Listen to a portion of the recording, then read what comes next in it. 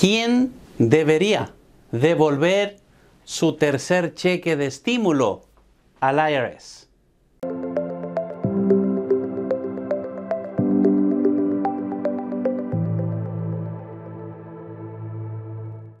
El título podría sorprenderle, porque tal vez usted piensa, ¿quién en su sano juicio quisiera devolver su pago?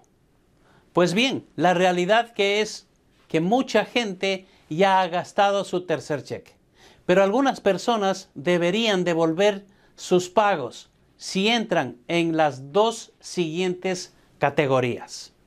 En la primera categoría están las personas que recibieron un pago de un familiar que ya falleció.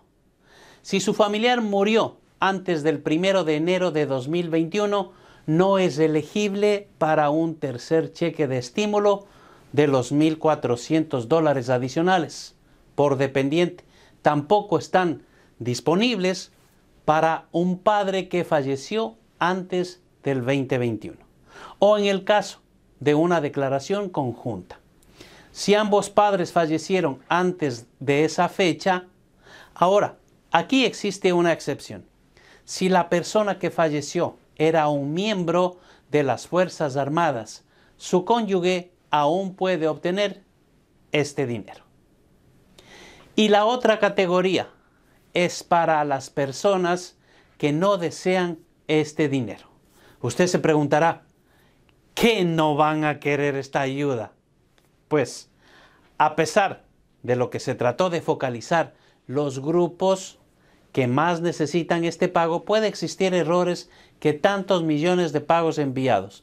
Tal vez alguno llegó por equivocación a un lugar donde no necesitan el dinero, ya que cientos de familias no entran en este programa porque sus ingresos son mayores. Por este motivo, estas personas deberían devolver este tercer cheque. Existe un procedimiento especial para cada caso de cualquier persona que haya recibido un tercer cheque de pago de estímulo y que quiera enviarlo nuevamente al IRS. En la página El Servicio de Impuestos Internos se encontrará toda la información para una devolución. Así que usted conoce a alguien en esta situación, le podrá decir que sí es posible devolver el dinero. La página del IRS es irs.gov. Usted lo podrá ver aquí en pantalla. irs.gov. Pasando a otras noticias. El día de hoy, Joe Biden se reunirá con los legisladores republicanos de la Casa Blanca. Como parte de un grupo bipartidista, se discutirá si son posibles las soluciones comunes dentro del plan de infraestructura en el centro de la batalla campal de Capitol Hill. Pero al parecer, esto no será posible, ya que el enorme costo de este nuevo plan, que oscila los 2 billones más su definición de infraestructura, que va más allá de arreglar solo caminos, puentes, carreteras en áreas como impulsar la atención médica domiciliaria para ancianos y discapacitados. Significa que el apoyo del Partido Republicano va a ser poco probable. Los políticos deben ponerse de acuerdo. Este auto, para tratar de encontrar un camino en conjunto por parte del presidente, ha puesto en duda a los legisladores del Partido Republicano, ya que creen que el mandatario no está hablando la verdad. Pero la mayor incertidumbre que enfrenta el proyecto de ley es saber si Biden puede lograr que 50 senadores se unan. Esto quiere decir que ni los mismos senadores del mismo partido están 100% de acuerdo con este plan de infraestructura. Ahora, el senador republicano Roger Wicker de Mississippi no tenía muchas esperanzas de progreso y dijo que iría el día de hoy a la Casa Blanca para hablar con Biden si su avión llegaba a tiempo. También expresó lo siguiente, estamos dispuestos a negociar con él solo un paquete de infraestructura y esta cifra de un billón de dólares que es demasiado alta para mí. Asimismo acusó al mandatario de no tomarse en serio las ofertas republicanas de su anterior plan de ayuda con el COVID-19, el coronavirus. ¿Qué le parece esta información, amiga, amigo? ¿Se ha suscrito ya a este canal? Hágalo, dele un me gusta y suscríbase. Mientras tanto, el presidente Donald Trump volvió a prometer ayudar al Partido Republicano a recuperar el control del Congreso el próximo año y ayudarlos a recuperar la Casa Blanca.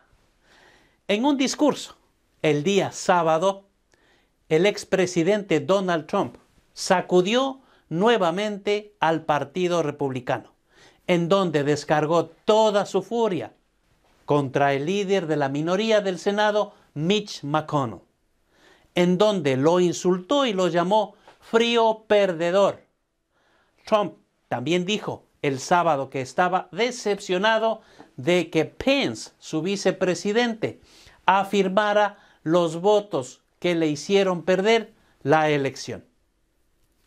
El discurso del sábado fue el discurso final de la cumbre de donantes del fin de semana del Comité Nacional Republicano en West Palm Beach, aquí cerquita a mi casa. Una parte también sugiere que el partido no está listo. Al menos por ahora para reemplazar a Trump como su líder indiscutible y recaudador principal de los fondos para las campañas de elección. Antes de su último ataque a sus compañeros republicanos, el equipo de Trump informó que sus comentarios estaban destinados a reforzar su continuo papel de liderazgo en los asuntos republicanos más una ruptura brusca con los presidentes anteriores. El discurso del sábado serán palabras bien recibidas para los donantes republicanos que visiten a Mar a Largo.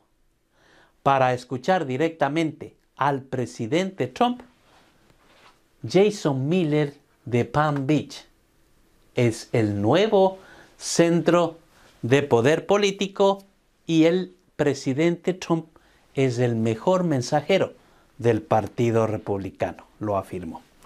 ¿Será posible que los republicanos puedan desligarse de la imagen del rubio Donald Trump o necesitarán de él para entrar de nuevo a la Casa Blanca? ¿Qué opina usted de todas estas opciones? La política en Estados Unidos está al día. Por otro lado, en mi país, Ecuador, hay nuevo presidente, el presidente Lazo. Y en Perú van a segunda vuelta. Muchas gracias. Buenas tardes.